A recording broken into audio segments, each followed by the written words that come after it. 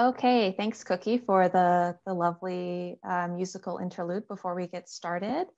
Um, thank you so much for joining us today for repeating Chesterfield Oscillations and Synthesizers, an online program by Cookie Burnell and facilitated by the New Gallery. We'd like to thank the Rose Foundation for their support of this program. Um, before we begin, I'd like to acknowledge the land of Mohkinstsis, which TNG calls home, and Tkaronto, the land which uh, Cookie Burnell currently resides. TNG gratefully acknowledges its homes on the traditional territories of the people of Treaty 7 region, including the Blackfoot Confederacy, which consists of the Kainai, Piikani, and Siksika, the Métis Nation Alberta Region 3, Stoney Nakoda First Nation, Chiniki, Bearspaw, and Wesley, and Tsuut'ina First Nation. TNG would also like to acknowledge the many other First Nations, Métis, and Inuit who have crossed this land for generations. Tkaronto is the traditional territory of many nations, including the Mississaugas of the Credit, the Anishinabek, the Chippewa, the Haudenosaunee, and the Wendat peoples, and is now home to many diverse First Nations, Inuit, and Métis. We also acknowledge that Tkaronto is covered by Treaty 13 with the Mississaugas of the Credit. We'd like to acknowledge the Indigenous peoples across Turtle Island who have stewarded and protected this land for generations and continue to do so presently. Um, I'll quickly introduce myself. My name is Brittany Nickerson and I'm the programming coordinator at the New Gallery. The New Gallery is an artist-run center located in Mohkinstsis and our vision is to provide opportunities and venues for artists that foster social and political art practices while engaging and educating audiences through artist-run culture and contemporary art. Uh, today's program will be recorded for archival and documentation purposes, so please feel free to keep your camera off. Uh, we'll ask everyone that you please leave your mic muted during for the duration of this program.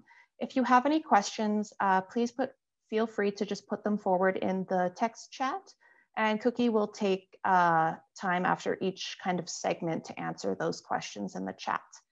Um, we're thrilled to welcome Cookie for today's program. They were a main space exhibitor with TNG in March 2020. Their exhibition, Every Worm Deserves a Mansion, used post-apocalyptic aesthetics and humor to address the power dynamics that sustain systemic discrimination and asked us to challenge our relationship to linearity and binaries. Okay, and with that, I will now pass it off to Cookie. Thank you so much. Thank you. um, okay, hi everyone. Uh, welcome to repeating Chesterfield. Uh, this is a beginner's workshop about electronics, sound, and synthesizers. Um, I think it should be about an hour, an hour and a half, depending how things go. And I've separated into three parts. Um, so, and like, as Brittany said, I've got a couple uh, sections for questions uh, that we can talk. And um, oh, also I'll have some links uh, within the workshop that are going to be posted in the chat. So you don't have to worry about um, writing them down fast or anything like that. And I am planning to also post this on my website in the next month once it's done. So if you want to rewatch or anything, you could you should be able to watch it there. Uh, okay, so let's get started. So part one is just called synthesizers. um, so I just wanted to clear up any misunderstandings about like what even is a synthesizer in case people don't know. And I said this is aimed at beginners. So I just kind of want to get us all on the same page. Um, so you know what I'm talking about. And even if you're not a beginner, I feel like um, it's not always like super clear what a synthesizer is. Like I feel like I never really defined it myself until last year, even though I've been playing them for a long time. So anyway, um, okay, so a synthesizer, it's an electronic device that can generate and design sounds in real time. And um, this generation and design of sounds in real time is what's gonna be the significant difference, uh, what def what's defining a synthesizer. And a synthesizer is made of different electrical circuits designed to complete uh, specific functions that create these sounds. And today I'm going to be discussing some of the synthesizer circuits and their functions today. So you can learn about electronics, but also, um, you know, get going on synthesizers more where you're not just like button mashing or whatever, you kind of understand what you're doing. I'm kind of talking from my own experience of button mashing there. Um, so the circuits and functions uh, and sounds can be triggered by different types of controllers. So um, the most, like the one probably people are the most familiar with is gonna be the keyboard. So a keyboard doesn't necessarily define the synthesizer because you can make and generate noises without a keyboard. That's just like a certain type of controller that allows you to uh, use a musical scale like with your fingers or whatever percussive uh, playing. And so you can use different kinds of controllers. Um, there's this one at the bottom I have here that's a ribbon controller. So that's going to be pressure sensitive. And as you move along it, that is going to trigger some sort of different function, whatever you set it to. And then other ones that uh, are often with a keyboard are these uh, wheel controllers. So that often does volume and pitch on a synthesizer that you buy or other kinds of keyboard um, there's light sensors. You can control a synthesizer with software like uh, Logic or GarageBand or whatever. And sequencers. Um, I'm not going to get into all the details of these things, but if you're familiar with that and MIDI, those are other ways that you can control it. And basically those can uh, make patterns of notes or, or something that you set it to where it's going to have this repeating pattern. Also like a drum machine uses a sequencer. And so what's the difference between a synthesizer and an electric piano? Um, so both can have keyboards, but the internal circuitry creates different types of sounds. So an electric piano, the sole purpose is to digitally replicate the sound of a piano. The piano keys trigger pre-recorded samples of sounds that cannot change. So this is where you're seeing this difference between the synthesizer. Uh, and I have a little note at the bottom that some synthesizers can use samples, uh, but I'm just, I'm not gonna get, I'm trying to make it a little bit of distinctions here for people to get going on understanding this. And then you'll find like, as you get deeper into synthesizers, there's, there's gonna be like exceptions to these, these rules. Um, and so if anyone wasn't clear about what a sample is, it's a, just a short recording. So uh, on an 88 key piano, it could include recordings of each key or even multiple recordings for each key, played with varying degrees of pressure when the sustain pedal is depressed, things like that. So it's not live, it's all pre-recorded. Okay, so then I've separated uh, synthesizers into types also to understand this a little bit more because you see different forms of them a lot. Um, there's modular, normalized, and hybrid. So for modular, that is going to be this first one. Um, so somebody's made this big case and each one of these little squares within it is, is a function module. And they're gonna each have the different circuitry that's doing some sort of different function.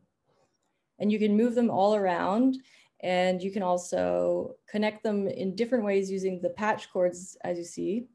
Um, and so that's why it's uh, called modulars because they can move. Um, and then so the normalized synthesizer is going to be hardwired together. Those, it still has like function modules of sort, but they're inside and you can't change the order of them. So you can still change like the parameters and you still have a lot of options, but it's just, it's more limited than the modular. Um, but uh, other benefits are like they, they can be cheaper and easier to get going because people are familiar with, you know, keyboards and uh, you don't have to know as much electronics, I guess. I don't use modular synths yet, or I don't know, maybe I will one day, but so I won't get too far into those today. But oh, I also wanted to say that with a modular synth, you can still connect a keyboard or different types of controllers. So um, the difference essentially is going to be like, is it soldered together, I guess. And then the last one is just a combination of the two. Okay, so that one's really short. Does that's just the intro kind of. Did anybody have questions about that? I know it's kind of soon for questions, but just in case. What type of musicians use the modular synthesizer? Um, well, I mean, anyone can use it. So a lot of, I guess, noise musicians would use it because it can be more experimental um, and a little bit less melodic, but it doesn't, not necessarily. And I think there's also, uh, oh, I see it. Yes, someone's agreeing with me. hey. And um, also because it's, it's kind of difficult to replicate like your results sometimes and also i'm kind of, i'm not talking from experience i'm talking from other people telling me because like i said i haven't used them. But from my understanding because it's like this live generation of sound it's it's a little bit difficult to replicate. There are really um, somebody that i really like who's a famous modular synthesis musician from like the 70s and i don't want to say her name wrong but it's suzanne ciani i think. Um, oh maybe i'll just type it in the chat um, she more recently, I'm pretty sure that's how you spell it. If you, you'll probably find it if you Google if I spelled it wrong. But yeah, more recently she was doing like uh, new age music, but earlier on you can find her modular synth performances, and I think they're really cool. Um, I should have made a music playlist for this. well, there's one. Okay. Um, does that answer your question? I hope. Um, they could definitely be used for like interesting soundtracks too. Okay, sweet. I will move on. So um, part two, oscillations. So uh, to understand synthesizers, we need a basic understanding of some of the concepts from physics, including oscillations, waves, and waveforms. So an oscillation can be described as a constant back and forth pattern of motion. So familiar examples would be the swinging pendulum or a vibrating guitar string um, that has that repeating pattern. And a wave is an oscillation that transfers energy from one location to another location. And then more specifically, mechanical waves transfer energy through matter, such as sound, which transfers energy through the air. And then air is gonna be the example of matter. And we're going to be talking about those. So then uh, if that's a wave, like what's the difference between a wave and a waveform? So a waveform is not a physical wave or energy. It's a drawing created by plotting numbers on a graph. Um, so it's mathematical. They represent the repeating change of something over time. So in this example of waveforms that I have on the side, we don't know what they're representing because they haven't been like defined. Um, but for an example of something that a waveform can represent, we have audio waveforms. As an audio waveform charts the vibrations of air particles over time. Um, so it doesn't say on this uh, diagram I have, but the up and down could be air particle or air pressure. And then the left and right would be signifying time. And um, when we look at um, these waveforms, we can learn like more about the phenomenon phenomenon by studying their characteristics. So you're probably familiar with words like amplitude and frequency. These are important when understanding synthesizers. So I'm pointing these ones out specifically. Amplitude is uh, going up and down on the, the waveform chart. And then frequency is the number of oscillations per second. And I'm gonna explain, get more into that after.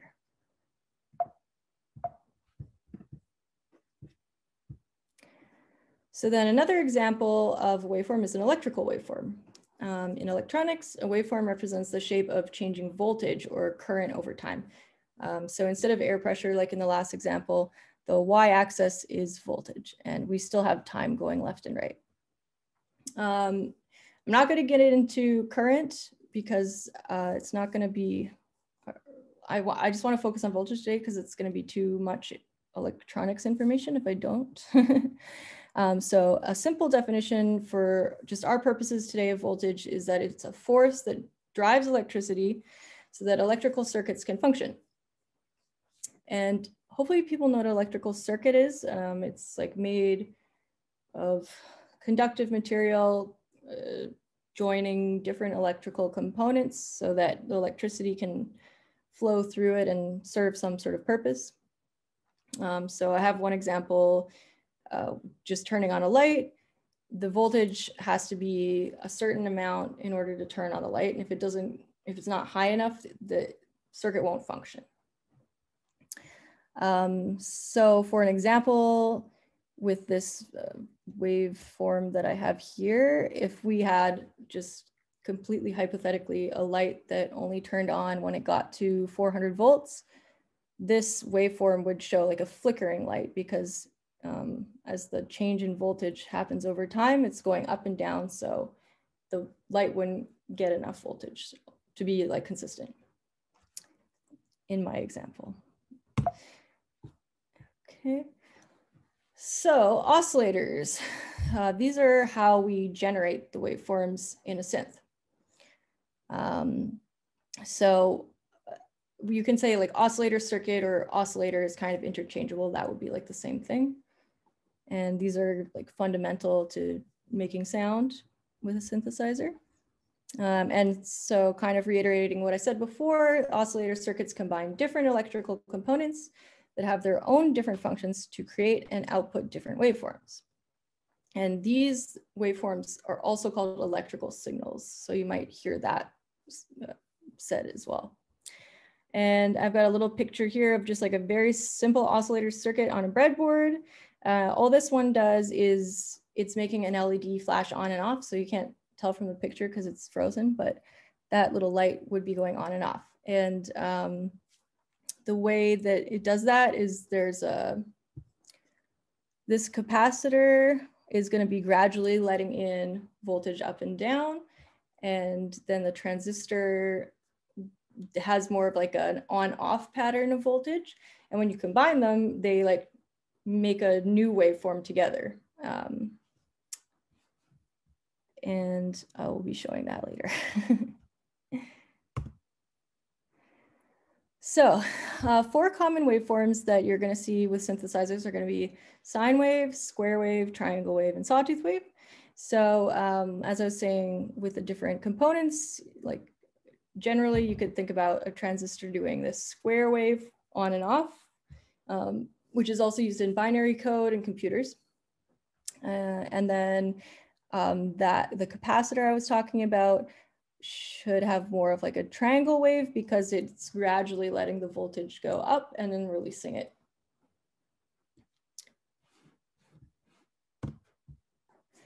So then there's this connection between the electrical waveform and the, the audio that's uh, coming out of the synthesizer. So they're really connected and that's what we're gonna talk about more also today.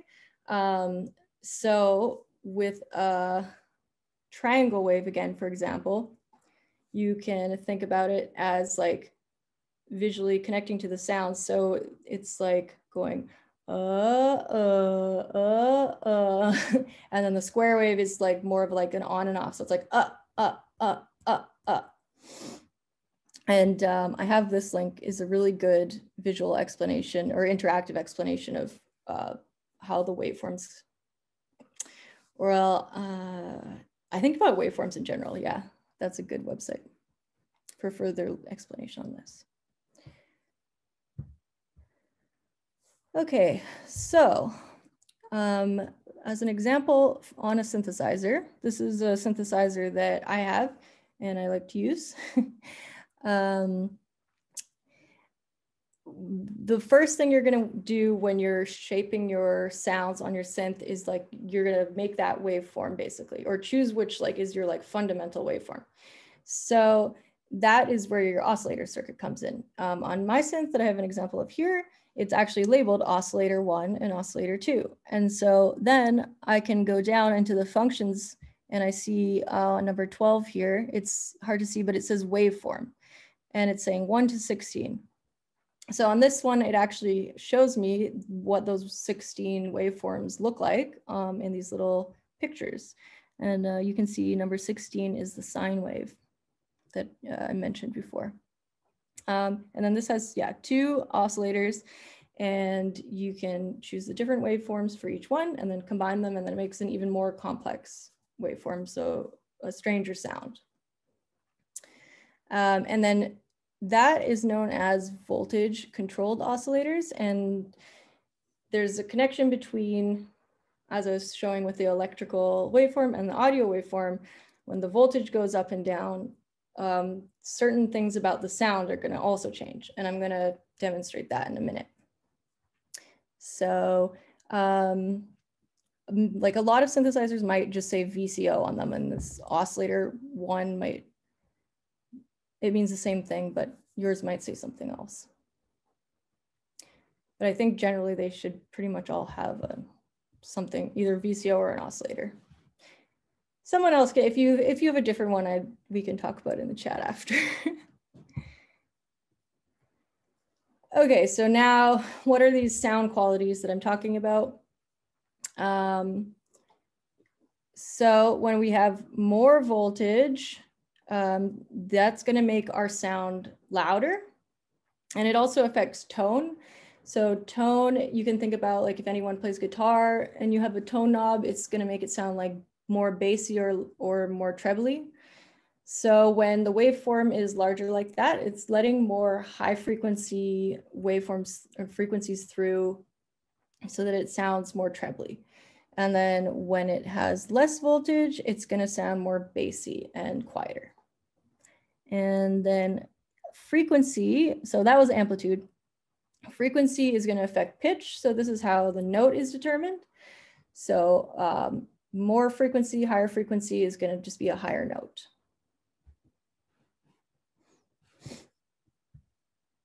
Um, and this is just like a picture kind of showing how a keyboard lays out the different voltages uh, to uh, so that you know which note you're getting in your scale.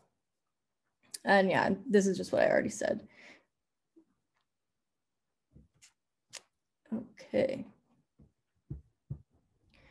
Then the last piece of the puzzle is like, how do the waveforms turn into sound in the air again, right? Because up until now, I was really more just talking about what's going on in the electronics. So the electrical signal is lastly sent through an amplifier circuit, um, you know, within your amp or speaker, which increases the electrical signal so that it's strong enough to be converted to mechanical energy uh, through a speaker. Uh, so that the mechanical energy I'm talking about is that sound wave again in the air. So uh, is my little example. Oh, so when we're talking about the synthesizers, it's it's the oscillator that's um, like the starting point, but with a microphone, it would be your voice converted into another electrical signal instead of the oscillator. So the mic turns the voice vibrations into a weak electrical signal. This signal travels through the conductive wire to the amp, and then the amp has to increase the strength of the signal and then convert it back to vibration in the air by, uh, I don't know actually how speakers work very well, but I know they move like this according to the waveforms to recreate the sound. Okay, um, so now I'm going to show you some examples. Let's see, I'll stop sharing my screen for a bit. And then can you put my camera on the main, or I guess I'm probably already.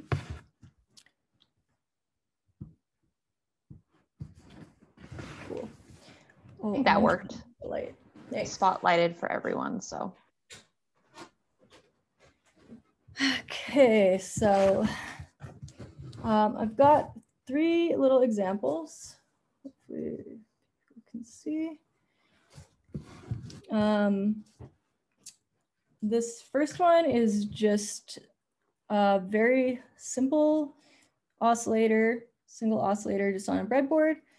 So a breadboard is something good for prototyping circuits and it's like cheap and you don't have to know how to solder. You just can push through hole components uh, into the board and there's uh, conductive strips underneath that allow it connect. And then that's how you can design your circuits. Um, this one I've got hooked up to uh, what's called an amplifier module. So I could connect it to a speaker or something like that, but this is just something you can buy like from an electronics place. You can also just make a little amp circuit if you want, but this comes like already pre-built and it's pretty affordable and just like kind of good for testing stuff out. And um, then that's connected to a little crappy speaker. And I've got a battery powering my amp module and my oscillator is connected to what's called a variable power supply. So this allows me to change the voltage and current to be different. So it's also good for testing stuff.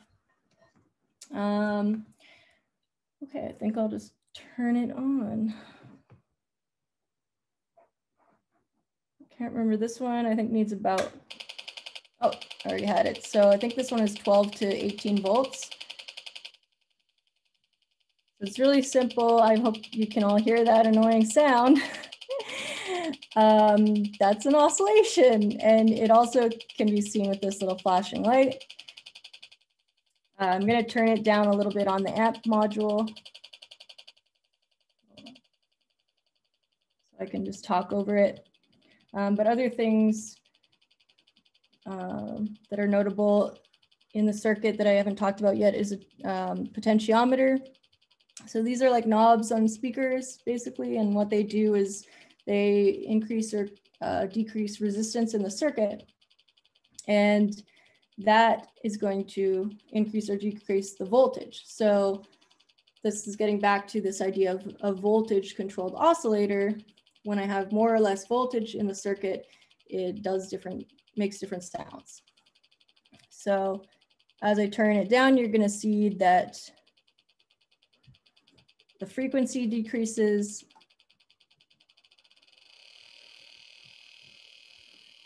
So that's uh, the highest frequency it can do. And even if I uh, increase voltage on here, it's going to do the same thing too.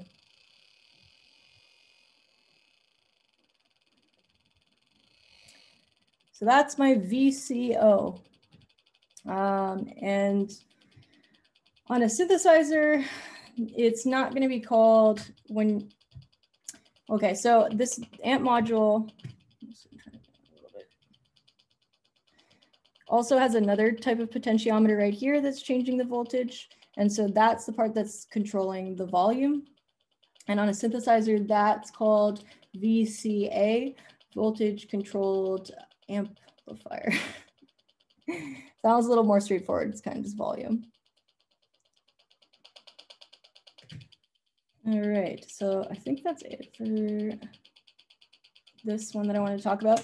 Um, I'm going to post a shopping list for this project because this is the easiest oscillator uh, project that I could find online. So I'll put it on my website for people who want to get started with that. It's kind of difficult to buy or like when I was starting electronics, I found like shopping for stuff was the most intimidating for some reason. Um, but so I kind of have some leads on that and on my website for this one, but there's also going to be some other links in the chat today of uh, simple projects that you can get as a kit. So then they send you all of the components and you don't really have to worry about the shopping part. I'll show you those at the end. Okay, so I'm gonna unplug all this stuff because I need to reuse the cords.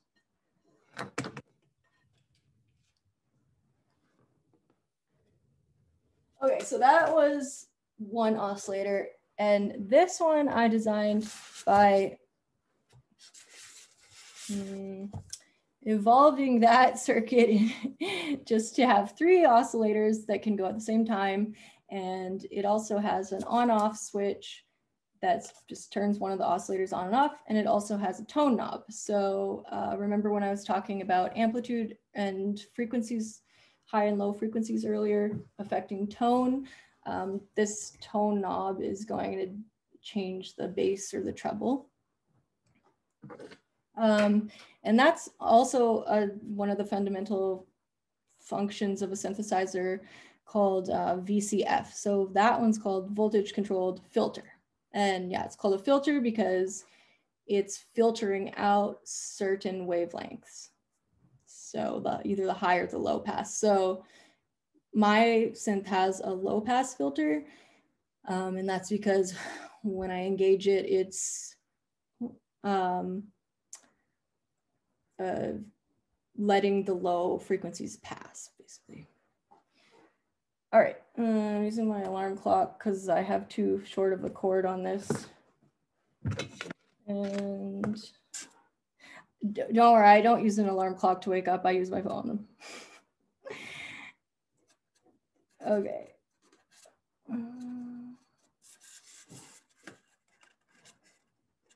Um, for people who understand, I'm just connecting the positive and the negative. I'm not going to get into that too much. And um, I think this one uses the same voltage. So, so you should hopefully be able to hear that it has, right now it should have, yeah, has two oscillators going right now. Um, maybe if I turn this light off, well, there's a little light here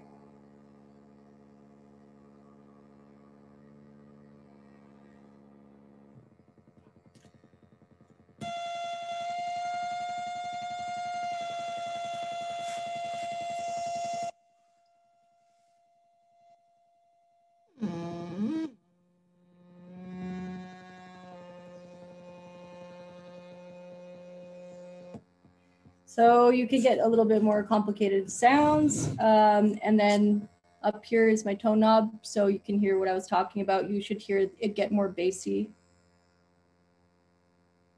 Oh, it already was on.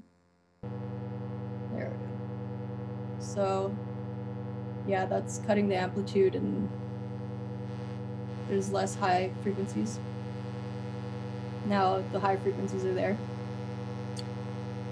Okay, that's that one. and uh, after these, I'm gonna show you the waveforms visually with an oscilloscope. Okay, and the last one is I didn't, or I didn't design this, I just um, bought a kit. Uh, so this is an example of something when you get a little bit further into making electronics, you can again, like get sent all the parts and instructions and you just solder it all together and you can make a more complex synth. Um, and yeah, it's from this company that's popular called Music from Outer Space. I also will have a link for that. Um, this one, I'm just using a guitar cable into a, a, like a guitar amp under my table, but I don't bring it up. Okay.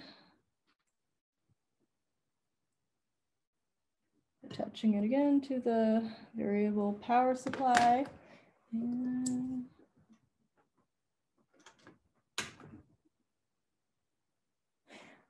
I haven't, okay, I made all this stuff and then I didn't really play them that much. So I still, I'm not like good at controlling this, but I'm just gonna give you a little taste.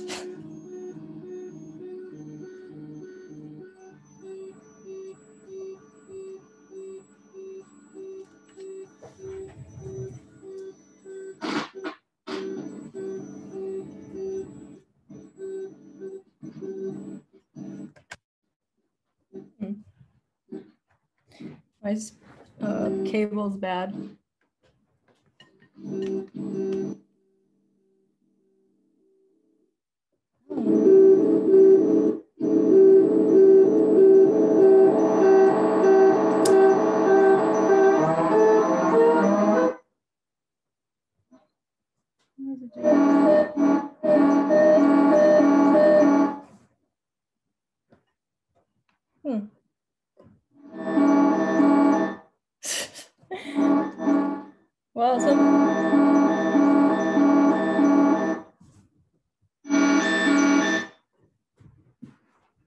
Okay, well, that's annoying. The cable was working this morning, but you get the idea.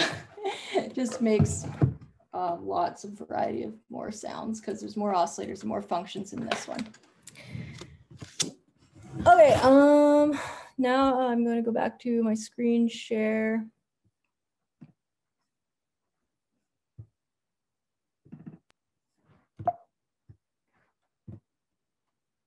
Um, so this is a video that will let you visualize what I was just doing um, on the first breadboard oscillator. This one has the same circuit that I showed you plus the tone knob.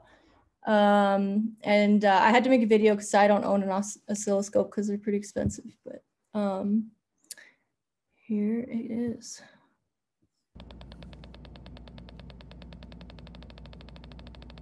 So uh, it's kind of like a sawtooth looking waveform. Goes up abruptly and then down gradually. Kind of dirty. and what I understand, that's from combining the transistor and capacitor. This is the tone knob. You see the amplitude is getting smaller. And back up.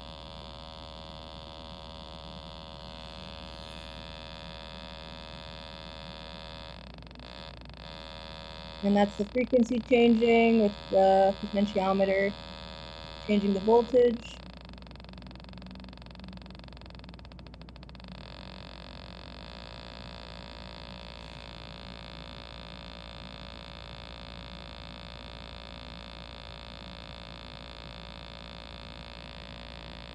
Um, and then this is just changing the view on the oscilloscope. You can zoom in and out and move it up and down. And you can record your waveforms if you want to on a USB.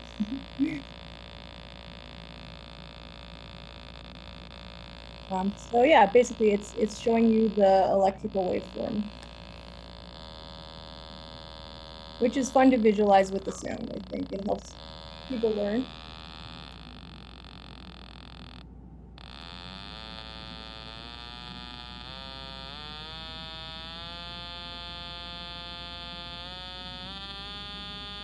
Or frequency changing the pitch, and that's it.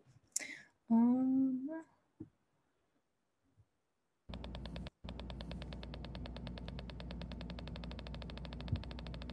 okay, question round two. This is the last question round because after that I'm doing something else.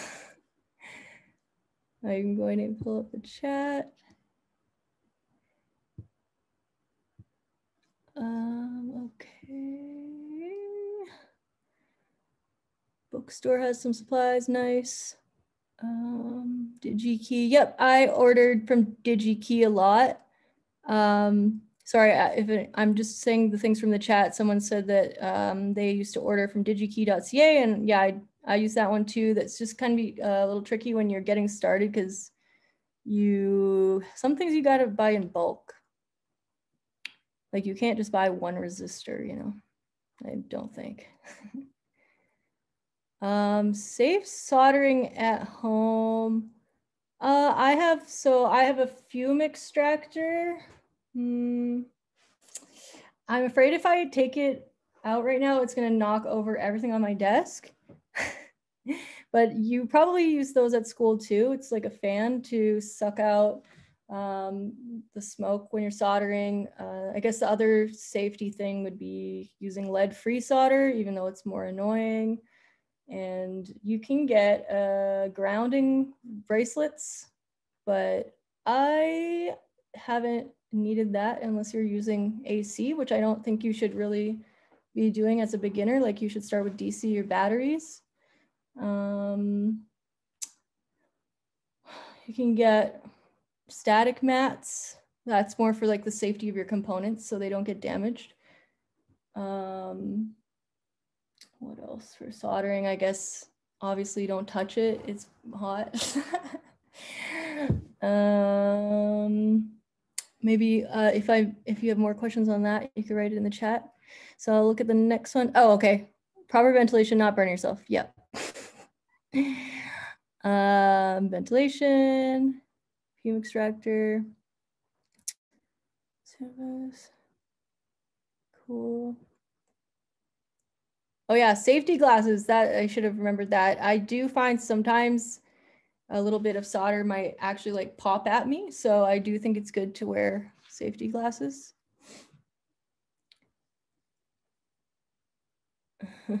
Welding goggles. okay, um, so I think that's it for the questions. I'm gonna go to the um, part three, I guess.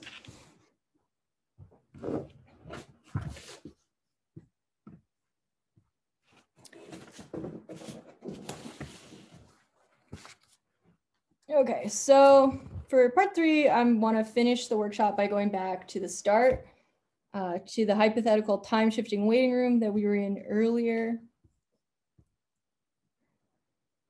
So in addition to music, a waiting room might also have reading material to pass the time.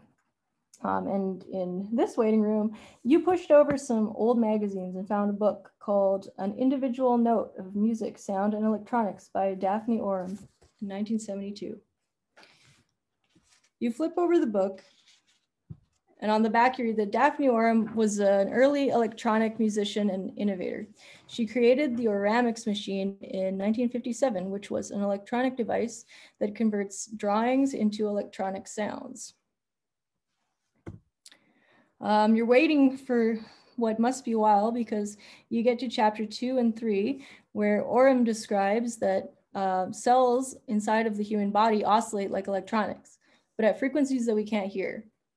She theorizes that these frequencies interact with infinite oscillations in our environments to distort and create particular and personal realities. Um, so you start to wonder, what other oscillations exist around us that we can't sense or haven't noticed? Can we change this particular reality by acknowledging new oscillations? So um, we talked about electrical and mechanical oscillations, but I haven't mentioned visual oscillations yet. Or I kind of touched on it, but we haven't defined them. So we know a drawn waveform is a visual representation of change. It's abstract, meaning it relies on additional information like voltage or air pressure, as we mentioned, uh, in order to give it meaning. So it doesn't repeat through time, um, but it does have a repetitive visual pattern in the second dimension.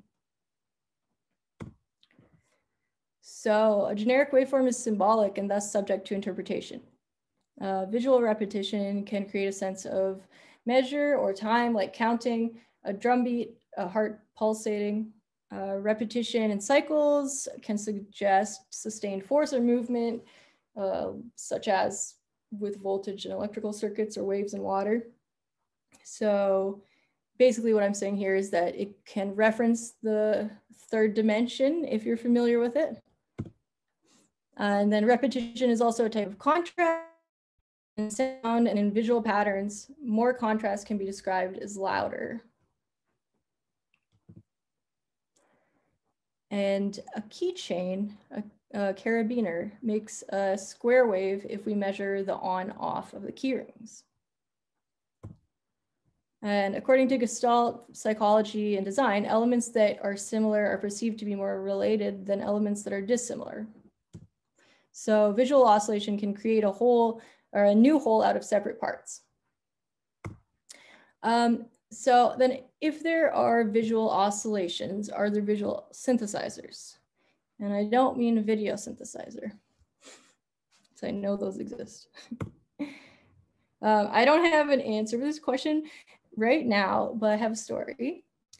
Um, in uh, 1995, I got a job in a new city where I didn't know anyone. A couple of months after I moved there, I came home on my lunch break and the door was locked and there was eviction notice on it. My roommate had been keeping the rent instead of paying it. So I went to the nearest YMCA and I booked a room for a month.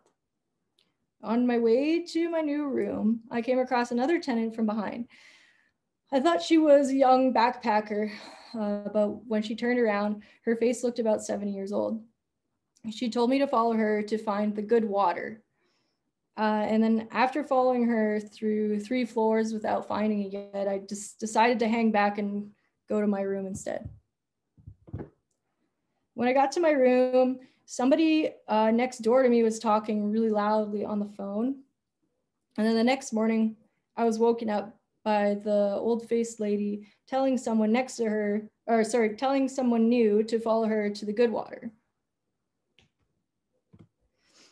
I waited for them to pass and then went to the shared bathroom at the end of the hall.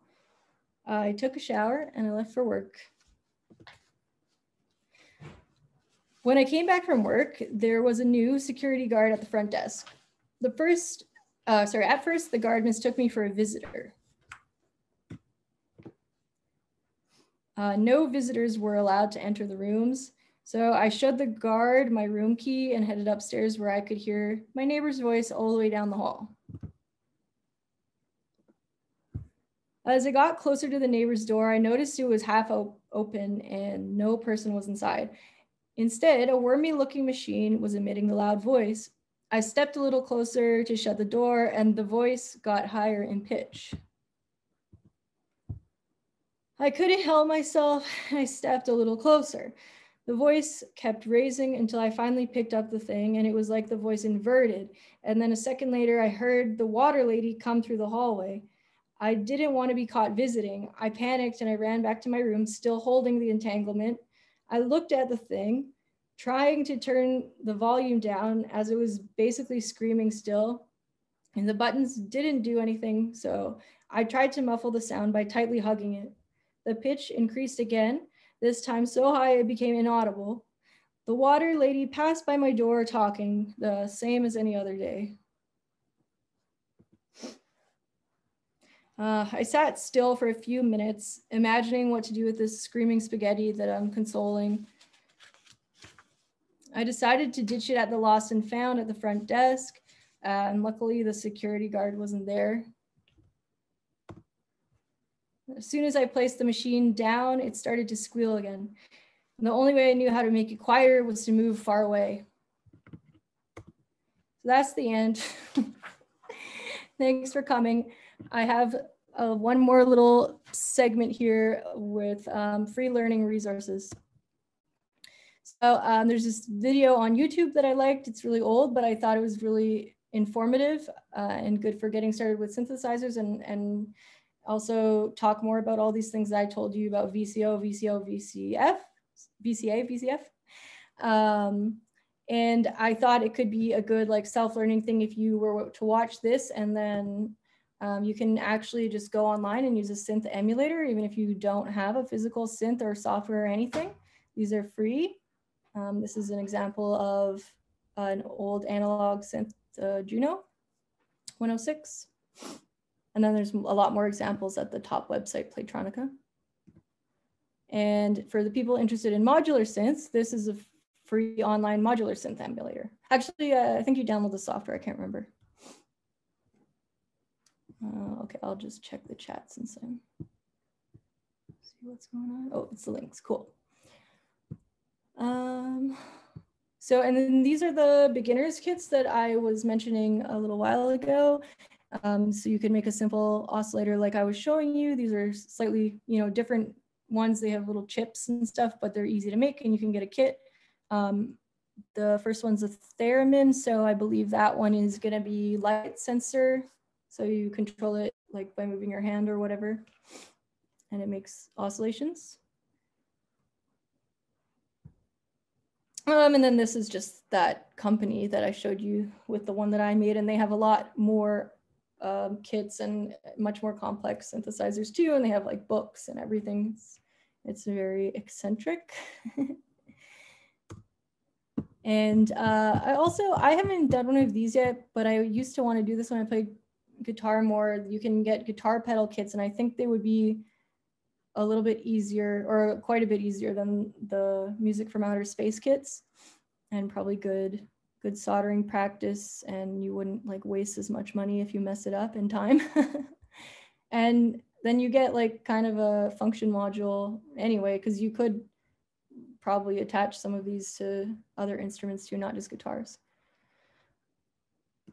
Um, okay yeah, and then this is if you if you want to follow any more of what I'm doing, that's my Instagram and my new website, uh, which is coming up to be, or which will be updated soon, but is still functioning. I'm just excited to show you the finished updates because I think it looks cool. And I think that's it. Okay, uh, thank you so much, Cookie. That was amazing. Um, and with that, um, uh, yeah, there's no more questions. So that concludes the workshop for today. Thank you, um, everyone, for joining us. Um, the links are in the chat. So um, if you'd like those, you can uh, copy paste them. If you um, have any feedback for us or uh, need those links, you can always uh, email me. It's uh, brittany at the thenewgallery.org. All right. Uh, oh, yeah. Or you can click and save the chat. Okay. Thanks, Sue. Uh, all right. Thank you, everyone. Um, and have a great afternoon. Thanks, everyone. Bye.